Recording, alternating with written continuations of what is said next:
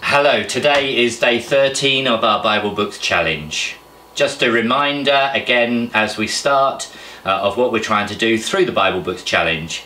Uh, first of all, through the picture that we see, each picture we see, we're trying to work out which book of the Bible the picture represents. And secondly, to spend a little bit of time in that book, understanding a little bit more about it.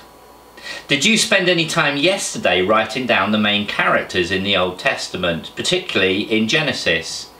If you did, did you do them in time order as well? Uh, chronologically is the word that we often use. Uh, here are mine. Uh, I started obviously with Adam and then Eve. Now there are other stories as well in here, but I went straight to Noah as I considered the spread of sin. Um, so Noah. After Noah, well, you've got the Tower of Babel, but then there's Abraham. His promises made to Abraham will pass to Isaac, to Jacob, and then we have finally in the story Joseph. Remember, uh, Jacob in particular had his name changed by God you remember what it was?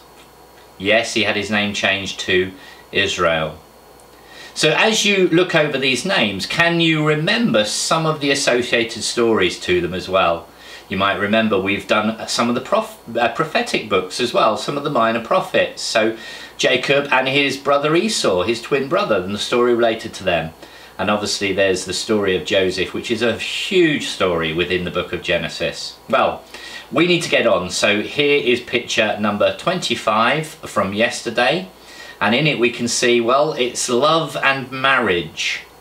Uh, this book is a love song between a husband and a wife, a special song of all songs. It reminds us that romantic love is God's idea. Yes, it is Song of Songs.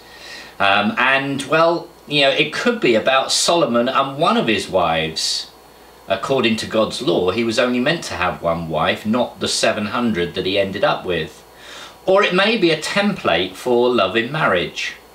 Solomon certainly has some funny ways of complimenting his wife, as he tells her that her neck is like a tower, as you can see in the picture. He also uh, he talks about her hair as being like a flock of goats. I don't think I would suggest that one uh, to your wives if you're married.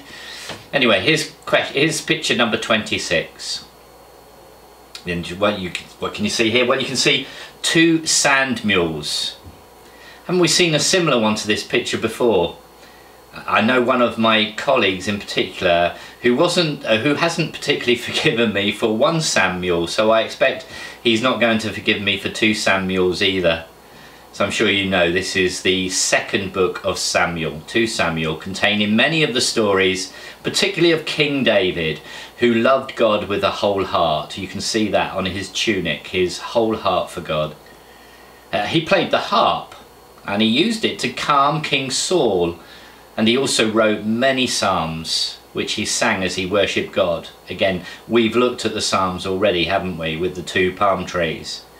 Although David was a good king who loved God, it's important to note he wasn't perfect, and this book records some of his mistakes, especially his wrongdoing with Bathsheba. However, God continued to love David because he always said he was sorry and he meant it.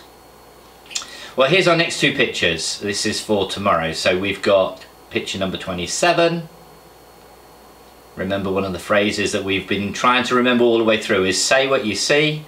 Uh, and then the picture not only helps towards the book, but it also helps a little bit with the content within the book as well.